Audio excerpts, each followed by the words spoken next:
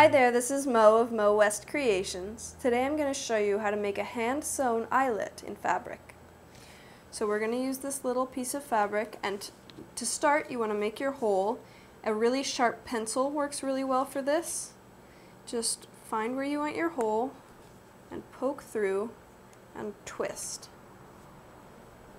Try to be moving the fabric out of the way, the threads out of the way, more than actually ripping a hole in the fabric.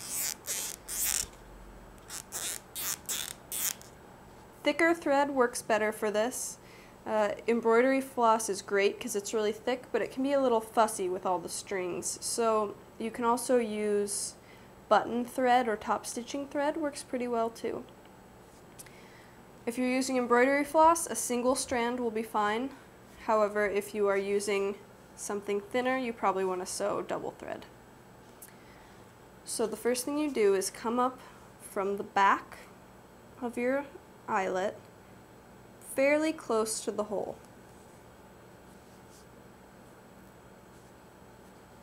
Pull it all the way through and then go back down through the hole.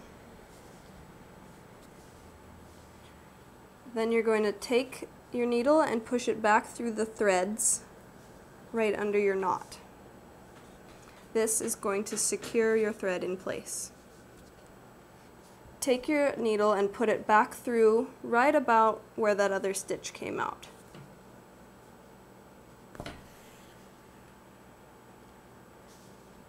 Now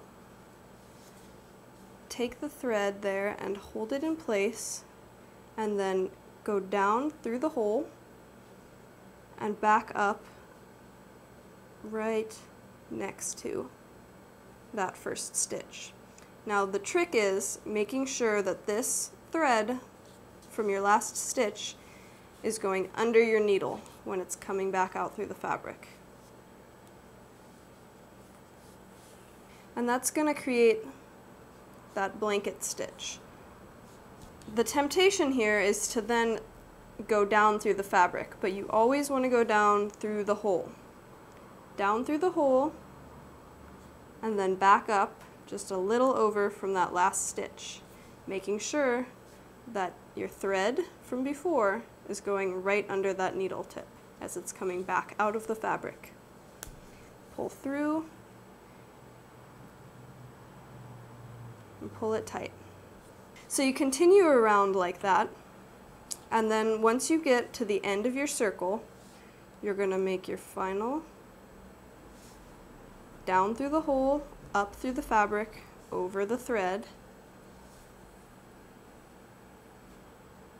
Just go down through the fabric and tie it off on the end.